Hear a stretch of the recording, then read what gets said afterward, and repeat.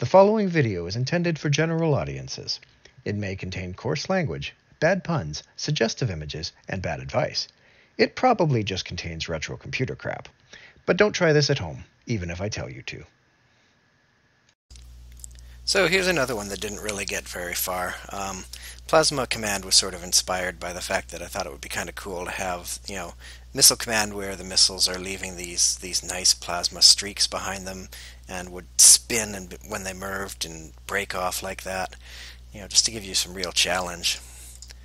And so, uh, you know, it was coming along, but I just sort of lost interest in the project. And so I just have this, you know, crazily intense demo with far too much going on. It's pretty fun though. You know, it's it's nice to watch. It's got some impressive concepts. It's pretty hard, but of course, you know, the early levels would start slow. Um, I've only got, oh, I do have three. Oh, that's right. The base that fires is based on where you shoot from. I forgot about that.